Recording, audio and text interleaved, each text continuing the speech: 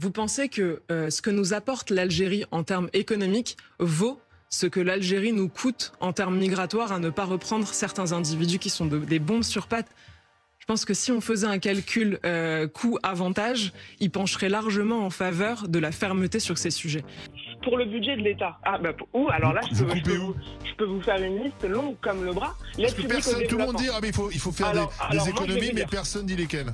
Alors moi, je vais vous dire parce que pour le coup, c'est un sujet qui me passionne. J'étais magistrate à la Cour des comptes. C'était mon métier d'épingler les ministères et de voir où il y avait des dépenses. Si vous voulez, vous allez voir le budget de l'État, vous regardez ligne par ligne et vous-même autour de ce plateau, vous allez vous dire mais c'est pas possible qu'on dépense autant dans ça. Est-ce que vous savez par exemple qu'on donne 800 millions d'euros à l'Algérie?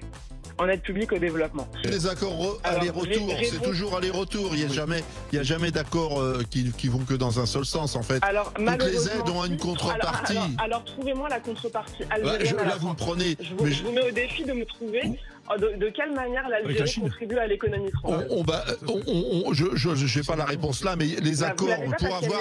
Je sais, je sais qu'il y a des accords toujours. Il y a pas, il y a dans les accords, c'est toujours à double partie. Si Vous savez, c'est comme les, c'est comme euh, on, on a critiqué euh, les, les, quand on a signé des, des accords pour euh, pour l'exportation de nos produits ou pour l'importation de produits étrangers, mais en fait, on exporte plus de produits agricoles qu'on en importe, alors- alors et grâce à ces, grâce à ces accords, vous voyez.